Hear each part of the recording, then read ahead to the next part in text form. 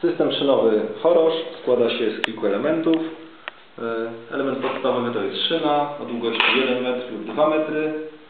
To są dwa typy łączników. Łącznik typu I, łącznik typu L. Łącznik typu I służy do przedłużania szyny w linię. Łącznik typu L służy do łączenia dwóch szyn pod kątem prostym. No i oczywiście e, główki. Mamy dwa rodzaje główek. My tutaj zaprezentujemy tylko jedną. No i tak, co się z tym robi? E, No po pierwsze, taką szynę montuje się do sufitu e, na stres.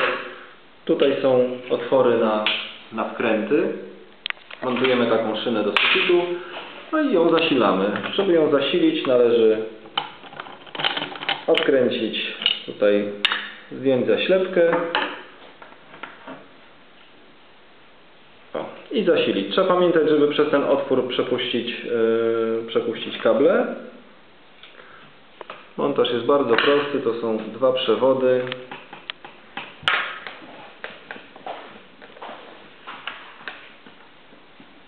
Jeden już jest.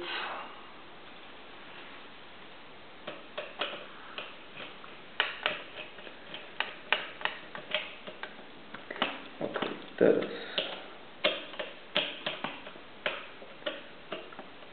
Jest już drugi. Ok. No i teraz tak, ta szyna wisi sobie e, na suficie, mamy główkę. Główka wyposażona jest w specjalny adaptor. Wkładamy główkę w szczelinę, przekręcamy to pokrętło. To pokrętło powoduje, że e, główka jest już unieruchomiona w szynie. Ona nie wypadnie jak widać. Następnie musimy prze, przełączyć tą dźwigienkę. Ta dźwigienka powoduje, że styki z oprawy mają teoretycznie dotknąć torów prądowych. Zaraz się przekonamy, czy tak się stało. Tak się stało, oprawa świeci. Natomiast e, aha, no i właściwie, właściwie to jest tyle. E, warto wspomnieć, że to są szyny jednofazowe, czyli to powoduje, że jak wepniemy tutaj kilka opraw, to one mogą wyłącznie albo wszystkie świecić, albo wszystkie nie świecić. Nie ma takiej możliwości, że nie wiem, świeci co druga, czy tam co któraś. Nie ma takiej możliwości, żeby na e, dwuklawiszowym wyłączniku spowodować, że te oprawy będą świeciły naprzemiennie. Odłączę zasilanie. I teraz tak, na co warto zwrócić uwagę? No po pierwsze, jakby cała zabawa polega na tym, żeby te motylki, żeby te dwa motylki o, dotknęły tych torów prądowych, które tutaj są po dwóch stronach i one są niestety wąskie. W związku z tym może się zdarzyć tak, że mimo, że próbujemy z jednej strony, mimo, że próbujemy z drugiej strony, oprawa nie świeci, wtedy trzeba się troszkę pobawić tutaj tymi, tymi motylkami, lekko je podgiąć, czy w dół, czy w górę, no w taki sposób, aż one w końcu zetkną się tutaj z tym wąskim, z tym wąskim torem prądowym. E, Należy też zwracać uwagę, żeby się nie okazało, że tory prądowe się wysunęły. O, tak jak na przykład ma to miejsce tutaj. Zawsze trzeba dbać o to, żeby te tory prądowe tam, mówiąc krótko, jeśli wysunie się z jednej strony, to znaczy, że powstanie dziura z drugiej strony. Lepiej to wetknąć.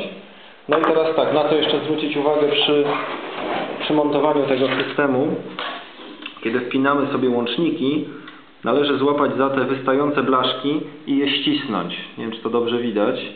Trzeba to ścisnąć i dopiero jak się ściśnie, to wkładać do szyny. Chodzi o to, że jeśli tego nie zrobimy, to te blaszki wypchną te tory prądowe, no i znów będziemy mieli yy, problem, nie będzie, nie będzie zasilania. Czyli najpierw ściskamy i później już na no, dość spokojnie sobie to wciskamy. Jak już wejdzie, to można to o, zrobić śmielej. No i to samo później, jak będziemy z drugiej strony mocować kolejną szynę, no to też tutaj ściśnijmy i dopiero nasuwajmy szynę. E, Należy tutaj montażu dokonywać tak dosyć starannie, dlatego że no, o, pokażę te, że jeszcze oczywiście teraz mi się nie uda wysunąć tych torów prądowych. Natomiast tory prądowe, no to mówiąc krótko, są takie druty, No i one się mają tendencję do przesuwania.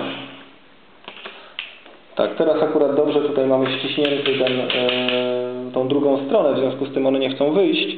Natomiast gdyby ona była zakręcona luźno, no to by tam się mogły wysunąć, no i wtedy system, system nie działa, nie ma ciągłości obwodu.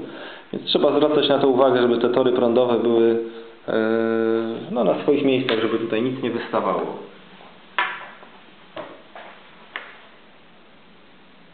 No i tyle. Bardzo dziękuję. Aha, maksymalnie 16 A dla posiadaczy uprawnień cepowskich. Nie muszę tłumaczyć, co to znaczy.